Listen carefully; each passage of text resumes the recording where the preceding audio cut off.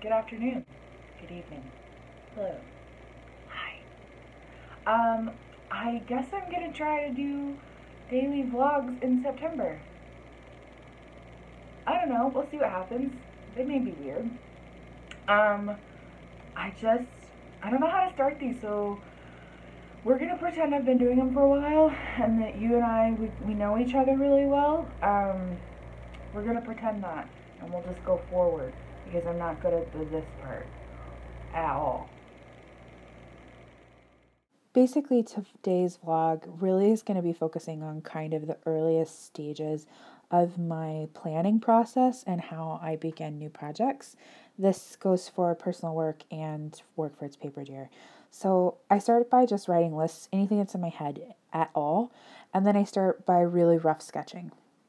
This keeps me loose and um, it keeps me from like looking too much to other people's work or getting any kind of any ideas that aren't really kind of what's in my own head already and it just kind of gets me starting to really brainstorm and think about what I want this next collection to look like. And then from there, normally what I do is I will actually go backwards and see what we did the year before, and which is what I'm doing here. Um, I'm just kind of looking at what we did, reminding myself of what sold well, what didn't, what I liked, what I didn't like, um, anything about that kind of stuff that can inform my decisions going forward for this year.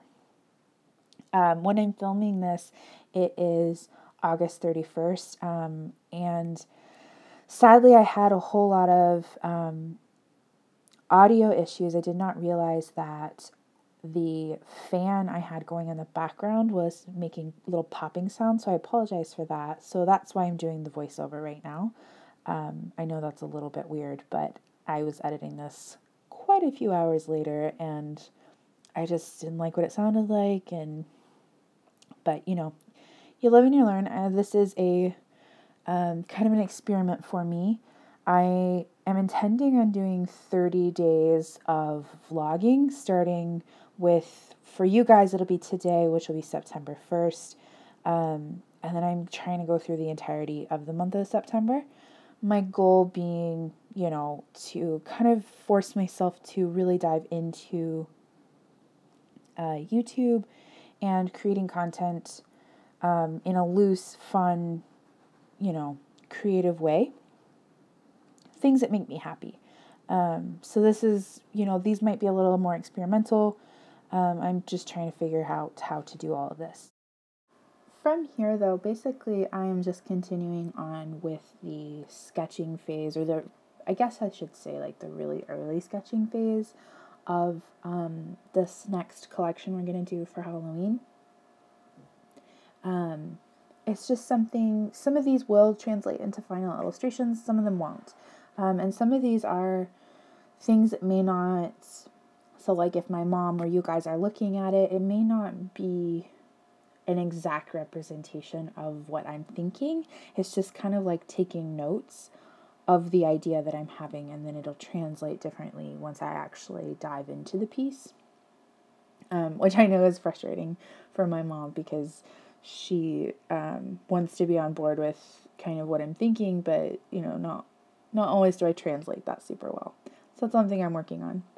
Um, one thing I did want to talk about is because It's Paper Dear is so small, um, well, relatively so small, we are able to have a really quick um, turnaround relatively to like if say like a larger business so we don't have to work a year or seasons numerous seasons in advance um, we would like to work a little ahead so that we aren't you know killing ourselves getting a launch together. But um, you know we do have the luxury of we are we do pretty much everything in house um, with the exception of some of our uh, sewing stuff that we've had to outsource and um, printing our like scrapbook paper. Everything else we do in house and so because of that we're able to kind of you know it's august 31st we're hoping to have this launched within like a week two weeks absolutely max and we can do that because we are, you know, just a two woman team. Um, and so it's kind of a fun thing about this. Like, you know, I can start to get these illustrations done and then I get them to her and then we both start designing and then it's it's just kind of like a nicer momentum. Um, at least we're both enjoying it currently. So speaking of trying to get um, you know, like so I just finished a the collection called Wormwood. Um, and that is a very fall um, kind of in the woods feeling. You know, all of the characters are very storybook esque. Um, there's definitely a lot of backstory to it, and I love, love, love that. Um, but that has a very different vibe to what I'm going for for Halloween, and I'm not feeling the spooky vibes yet, guys. Um, so, one thing I always do in my process to try to get myself ready for whatever project I'm working on, in this case, it be Halloween, I try to put myself in that mindset. So, while it's still actually quite hot outside, and it's, you know, the leaves are beginning to barely kind of change, and fall is coming. You can kind of tell some nights get a little bit cooler. It's not fall yet.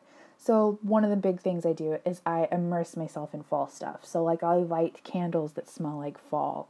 I listen to Spotify playlists that are all about Halloween. I watch my favorite Halloween movies.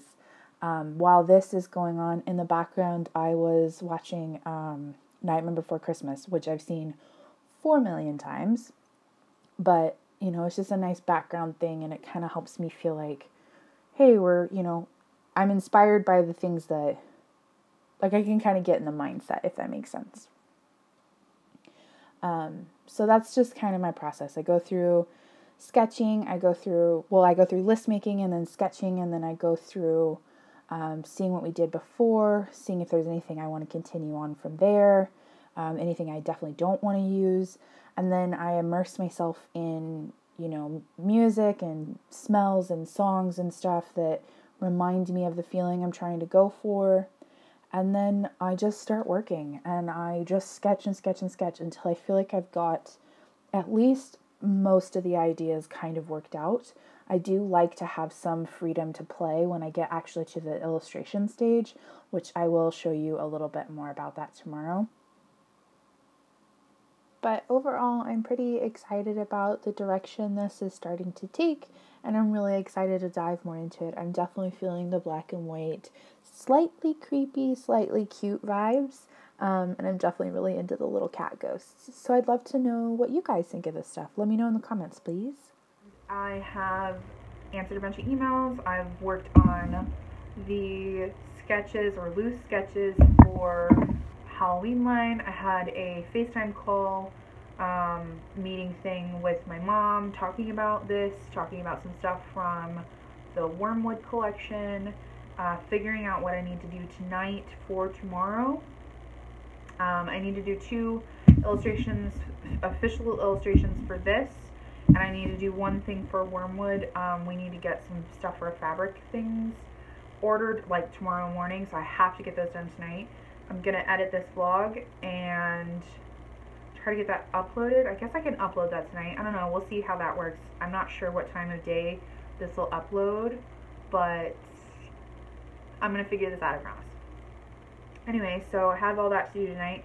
This, it will end up being a late night, um, and because the vlogging, I'm still getting used to it, um, has slowed me down just a little bit. I am probably gonna go ahead and cut the vlog here for today and then I will show you more of my like illustration process tomorrow. Um, so yeah, I guess thank you so much for watching this. This has been fun for me. It is a little awkward. We will probably still stay awkward for a while. Try to get better though. Um, but you know, it's YouTube, so do the things like, subscribe, comment. You know, let's hang out. Thanks so much for watching. Bye.